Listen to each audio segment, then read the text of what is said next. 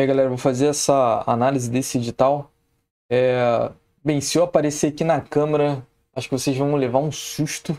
Eu tô com a cara bem, bem massacrada, olha só, se liga só. Cuidado, hein, ó, tô avisando, hein. Ó, tô muito cansado, muito cansado. E... Ah, vou deixar assim.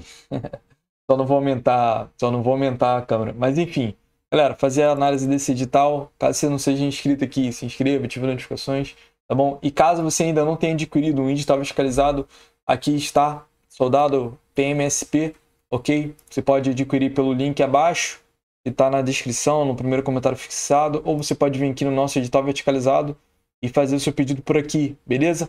Tranquilo, apenas 10 reais, vai ajudar muito a gente, vai te ajudar muito também, inclusive, e vai ajudar a gente a continuar fazendo esse trabalho. A gente faz é, editais não só de grande massa, mas sim é, por exemplo, Prefeitura de Canaã, dos Carajás, sabe? É um concurso que, caramba, que eu vou ajudar uma pessoa lá do, sabe?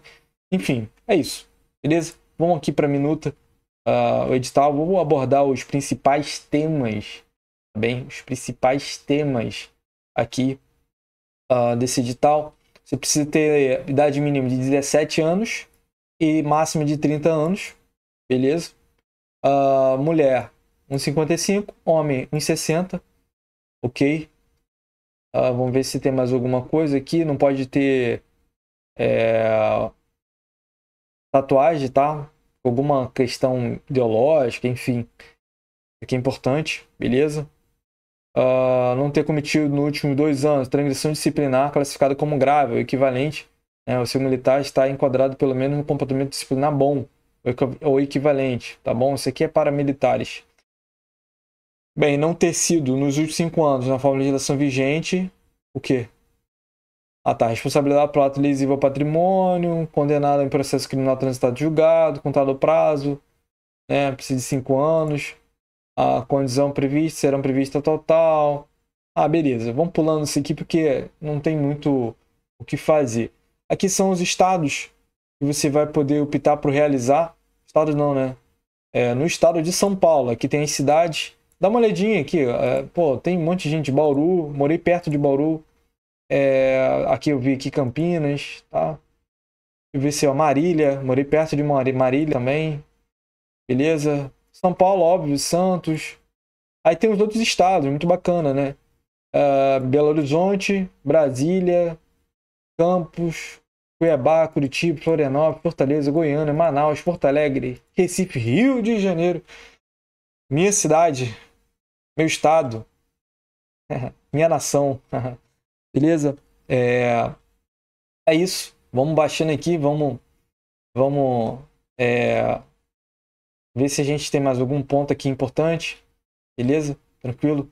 Aqui temos a primeira parte objetiva, a segunda é dissertativa. Língua portuguesa, 20. Matemática, 15. Conhecimentos gerais, 15. Noções de base de informática, 5. Noção de administração pública, 5. E é isso eu tenho para dizer, português sempre em alta, tem que gabaritar, matemática sempre em alta, conhecimentos gerais sempre em alta. Bem, não pode zerar em nenhuma, a princípio. É isso. Vamos lá. Baixando, baixando, baixando. A gente já viu o que, que vai cair. É, onde está bem tranquilo, né? Pra ser bem sincero. Aqui, fala um pouquinho sobre a prova dissertativa. Eu sempre dou uma dica, né, aqui nesses vídeos, que tipo, você sempre tem que pensar o seguinte.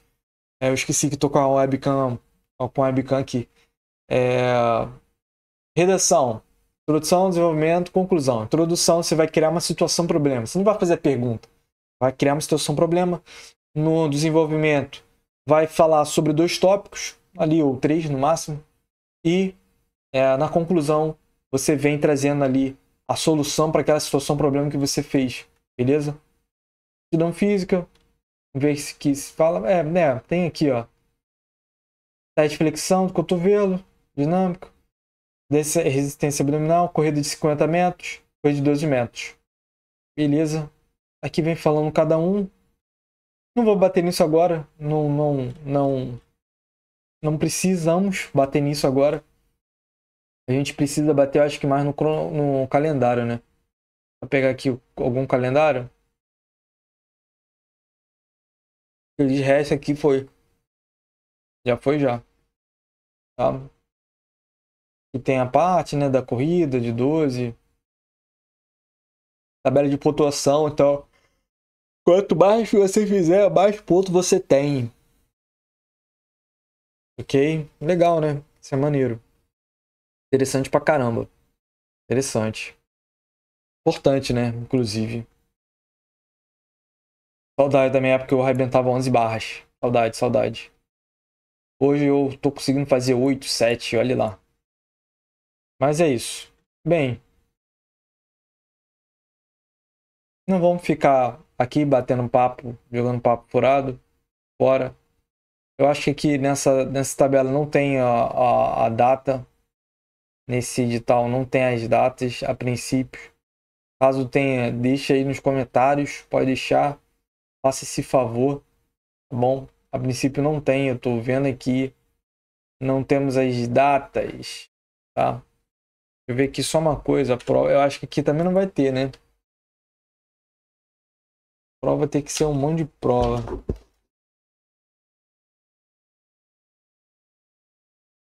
Realização do exame.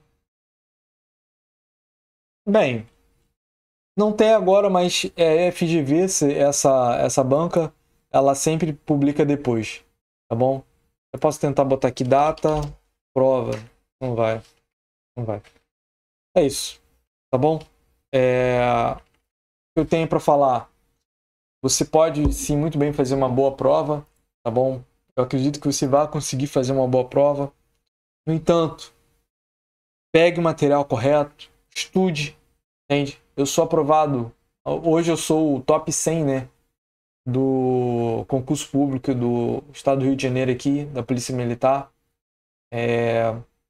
E isso é gratificante quando a gente escolhe. Eu fiz o edital verticalizado, estudei pelo meu edital verticalizado, estudava por questões, via vídeo na internet quando tinha dúvida e deu certo. Então, às vezes o básico bem feito vai fazer você levar, vai fazer você alcançar patamares muito grandes. Tá bom? É isso que eu tenho para dizer. Um forte abraço, até a próxima, avante.